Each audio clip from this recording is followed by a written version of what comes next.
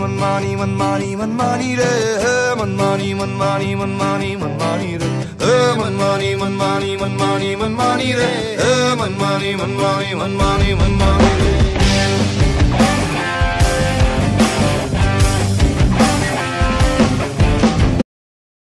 And Jane. दोस्तों, आज के इस वीडियो में हम कुछ खास टॉपिक के बारे में चर्चा करने वाले हैं। जैसा कि फरवरी माह में एक वाक्य हुआ था, जो कनाडा के जो अपने प्रधानमंत्री हैं, जस्टिन जस्टिन ट्रूडो, वो अपने देश आए हुए थे सात दिवस के दौरे में, और वो सत्रह फरवरी 2018 को अपने देश में आए थे।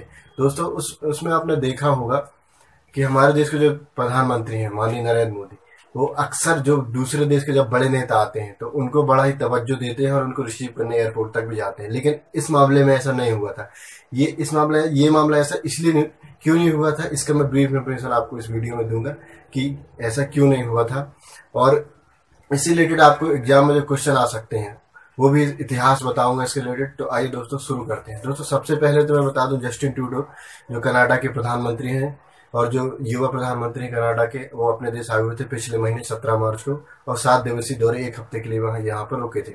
दोस्तों, उनको इतनी तवज्जो इसलिए दी गई क्योंकि ये, आपने खालिस्तान विद्रोह का नाम सुना होगा दोस्तों। खालिस्तान विद्रोह, दोस्तों, ये सन, वैसे इसकी शुरुआत 1970 में हुई थी। दोस्तों जो जो मैं आपको सन बोलूँ वो याद रखें क्योंकि मैं आपके लिए इस वीडियो में खासकर करंट अफेयर से निकाल के लाया हूँ कि मतलब जो जो आपको सन इससे रिलेटेड चीज़ें पूछ सकते हैं एग्ज़ाम में।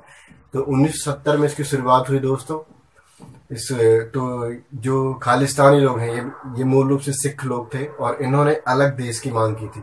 और 1980 में इसने ज़ोर पकड़ा जब इसका जो लीडर था, वो जनरल सिंह भिंडरवाला को बनाया गया।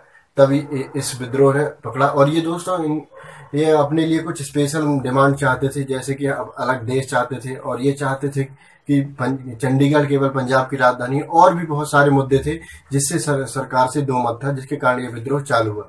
दोस्तों सबसे पहले तो मैं बता दूँ कि 1980 में इसका मेन शुरुआत हुआ जहाँ से इसने ज़ोर पकड़ा। और उन्नीस सौ इक्यासी में एक वाक्य हुआ जिसमें कि जो पंजाब केसरी समूह के संपादक थे जगत नारायण उनकी हत्या कर दी गई। जहाँ से ये विद्रोह एक हिंसक रूप लेने लगा धीरे धीरे और और और दोस्तों फिर इसके लिए एक खास ऑपरेशन चला, चला, चलाया गया। दोस्तों इस ऑपरेशन का नाम ज़रूर ध्यान रखें। इस ऑपरेशन का नाम है ऑपरेशन ब्लू स्टार जो कि इंदिरा गांधी ने चलाया था।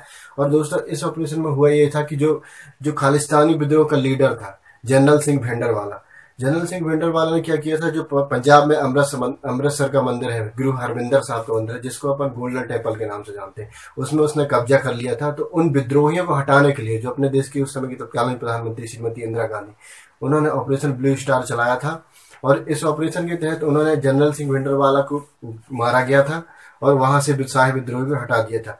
दोस्तों, इस इस ऑपरेशन के बाद और दोस्तों इस, इसके बारे में और इन्फॉर्मेशन आपको दे दूँ कि जो गोल्डन टेंपल का निर्माण है वो सिखों के पाँचवें गुरु गुरु अर्जन देव ने इसका निर्माण कराया था और पंद्रह में इसका निर्माण आरंभ हुआ और 1604 में ये बनकर तैयार हो गया था दोस्तों।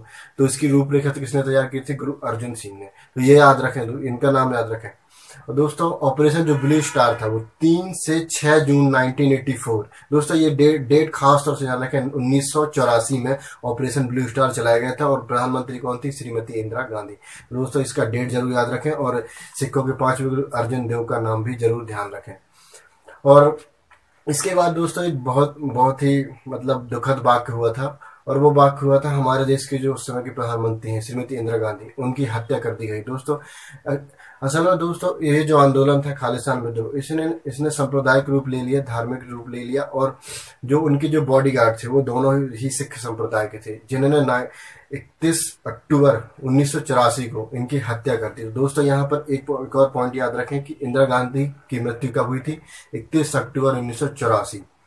दोस्तों, यहाँ से मैंने आपको ये खास पॉइंट इसलिए निकाले हैं क्योंकि ये एग्ज़ाम में ये जस्टिन टूडो जो अपने देश में आए थे। और दोस्तों जस्टिन टूडो की इतनी आलोचना इसलिए की जाती है क्योंकि जो अभी खालिस्तानी कुछ समर्थक हैं, कनाडा में जैसे कि हम जानते हैं कि बहुत सारे सिख समुदाय के लोग रहते हैं तो वहाँ के जो समर्थक हैं, वो जस्टिन टूडो उनका समर्थन करते हैं किस लिए? क्योंकि वहाँ के वो राजनीतिक पार्टी के लीडर हैं तो वहाँ वो वोट के लिए वो उस खालिस्तानी विद्रोहियों का अभी भी समर्थन कर रहे हैं, इसलिए उनकी इतनी आलोचना की जाती है अपने देश में।